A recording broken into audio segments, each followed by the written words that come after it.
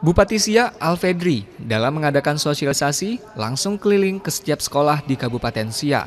Dalam sosialisasinya, Bupati memberikan pengertian tentang bahaya narkoba dan dampak dari narkoba kepada masyarakat.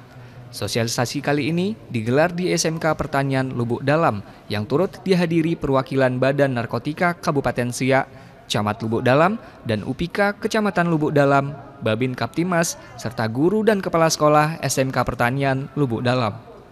Bahaya narkoba ini bukannya di Siak, di Indonesia nih. Presiden kan sudah mengatakan Indonesia darurat narkoba karena tidak satu kampung pun, desa pun dari 76 ribu desa dan pulau di Indonesia ini yang terbebas dari narkoba. Maka ini sudah memang rawan ya. Oleh sebab itu ya kita di Kabupaten Siak ya tahun lalu pun kan banyak kasus yang ditindak oleh kepolisian. Bupati Siak menambahkan, dirinya juga tidak menginginkan pemuda di Kabupaten Siak sampai terlibat di dunia narkoba. Dari Kabupaten Siak, Ipung Sadewo melaporkan.